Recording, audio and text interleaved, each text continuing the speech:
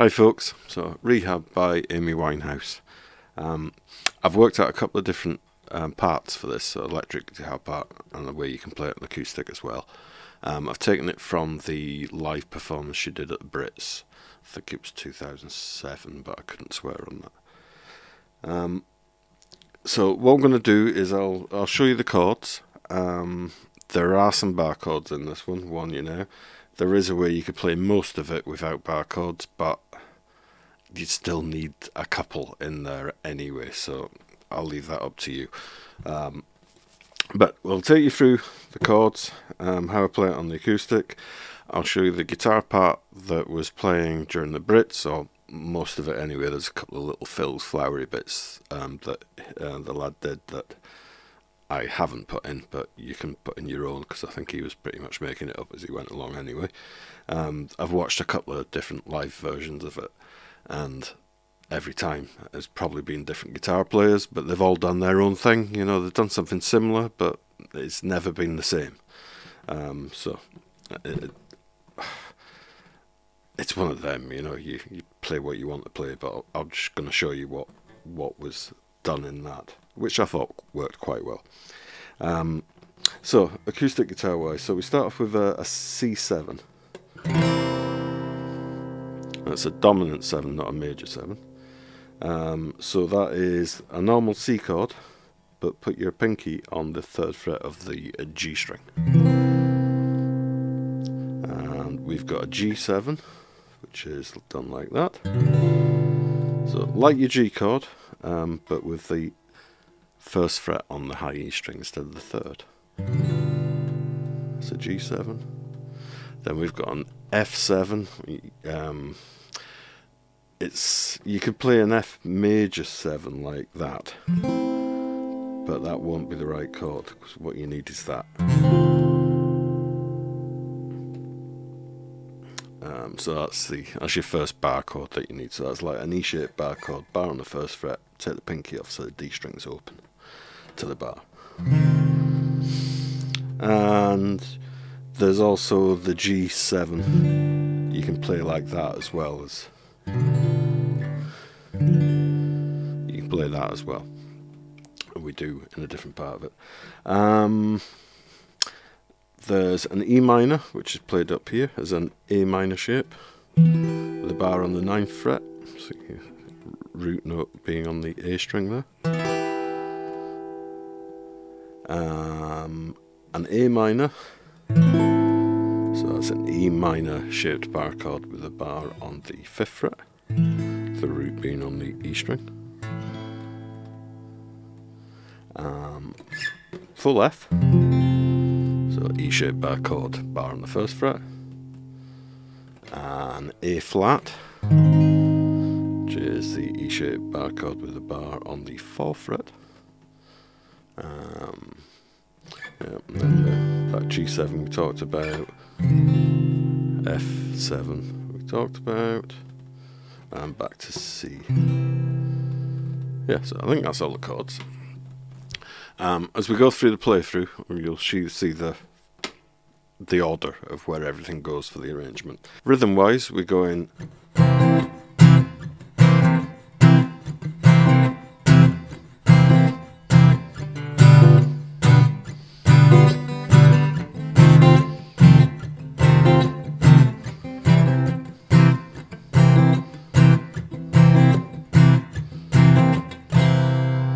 So, so one and a one and a two and three and a four and one and a two and three and a four and one and a two and three and a four and one and a two and three and a four and, and a two and three and a four and and a two and three and a four and one and a two and three and a four and one and a two and three and a four two and three and a four and one and a two and three and a four and and that's that's the acoustic part for it. Um, as I say, with that E minor, A minor parts, you could play E minor down here and A minor there, but you're still going to have to go into the F and the A flat. I suppose you could play an F like that, so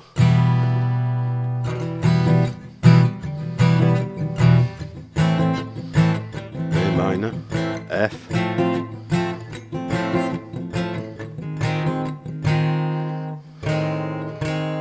You could get an A flat there, but you would you couldn't include the open A string, so it would just have to be those three strings.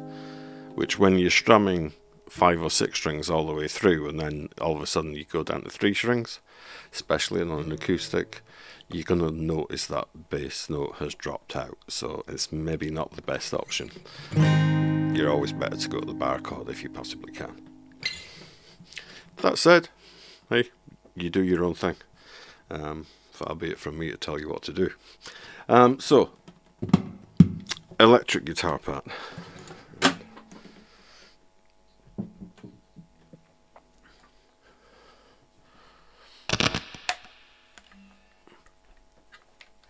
So for the electric guitar part, part, it's just this little riff that that repeats all the way through, and the riff kind of stays the same, but it changes with the chord.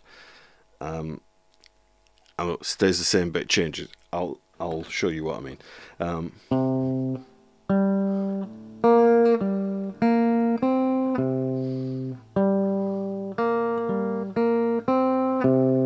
so it's third fret on the A string, fifth fret on the D string,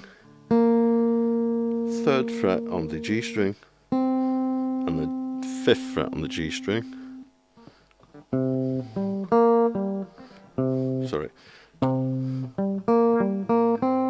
So third fret on the A string, fifth fret on the D string, third fret on the G string, fifth fret on the D string again, third fret on the G string, and then up to fifth fret on the G string.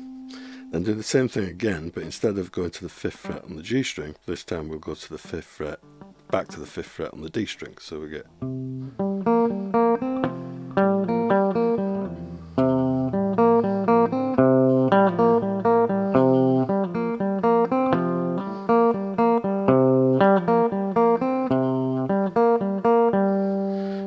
Same time as doing that, you kind of want to palm mute it. So side of your hand, rest it on the bridge, and just roll it forward so it just. You can still hear the notes, but it's not ringing.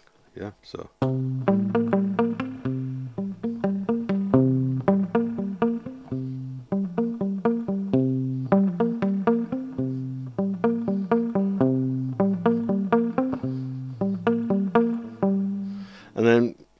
Exactly the same thing, but over the G chord.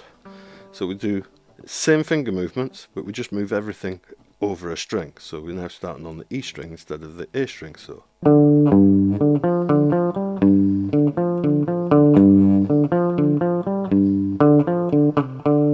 Same on the F.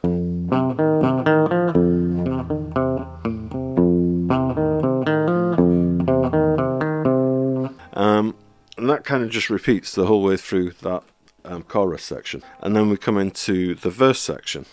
So again, E minor, bar chord on the 9th fret, A minor shape.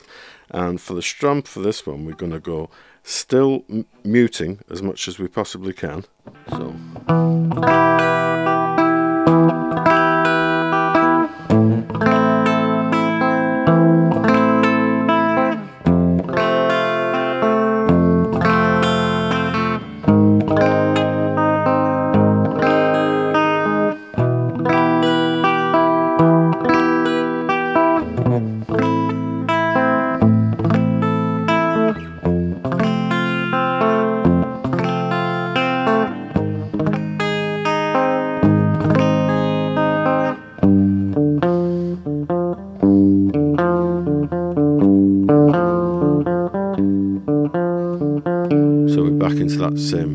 riff again after that.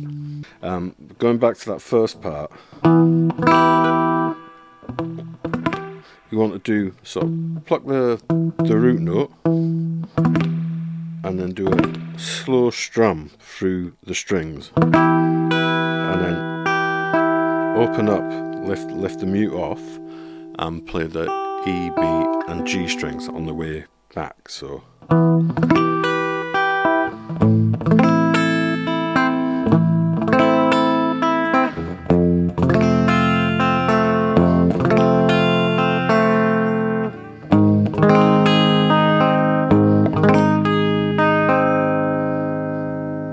That's all it is.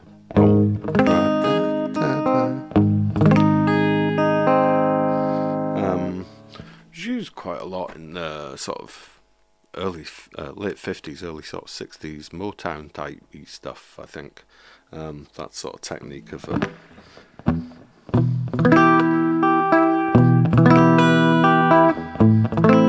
not sure what you could call it. I suppose it's like a pick rake almost. Kind of use pick rakes in in sort of lead guitar type stuff. Um, but I suppose yeah, I suppose it is a pick rake.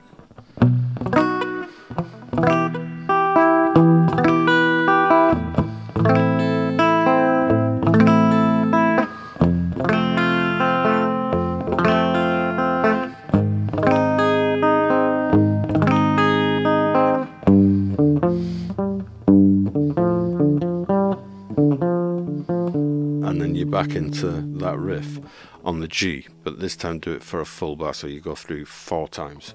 Um, that's once.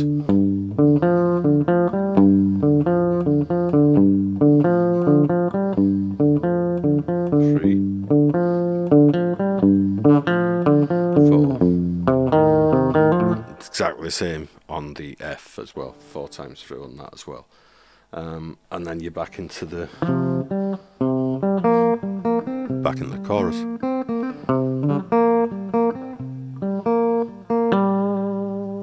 And that's it.